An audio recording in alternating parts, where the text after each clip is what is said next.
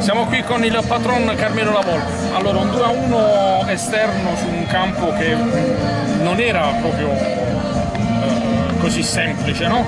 Visto che l'Erche aveva bisogno di punti per salvarsi. Un 2-1 eh, con un secondo tempo controllato e, e comunque rimaniamo in zona, in zona playoff.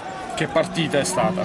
Una partita bella sofferta, combattuta, erano due squadre che volevano vincere assolutamente tutte e due questi ragazzi e l'ERC sono stati veramente dal primo all'ultimo, hanno insistito, ci tenevano a non perdere questa partita, poi addirittura hanno riaperto facendo quel gol, le forze si vedevano erano diverse, però onore a l'ERC, è stata una bella partita, partita bella combattuta.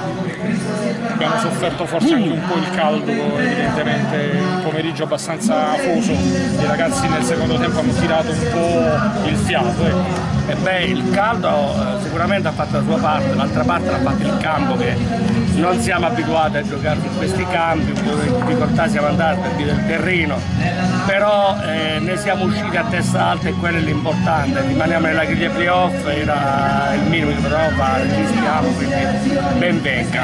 Perfetto, grazie al, al patrono.